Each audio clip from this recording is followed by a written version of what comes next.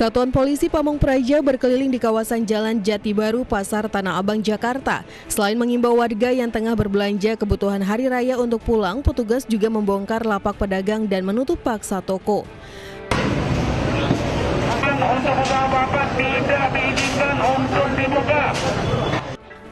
Pada penertiban ini, petugas tidak melakukan penyitaan barang dagangan kepada semua penjual, namun jika imbauan tidak beroperasi selama penerapan PSBB di Jakarta kembali dilanggar, penjual akan menerima sanksi.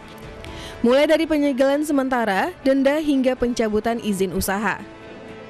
penyegelan sementara maksudnya ya kemarin dia masih dagang masih bandel ya terus dari satpol pp ya kalau di sana sudah bisa lihat penyegelan sementara gitu kalau nanti tetap berdagang ya ada tindakan yang lebih tegas lagi ya mungkin Pak Manpol nih nanti akan memberikan jawaban. Sejak sepekan jelang lebaran, para pedagang kaki lima di kawasan Pasar Tanah Abang nekat membuka lapak. Pembeli pun kembali berdatangan di saat PSBB masih diberlakukan.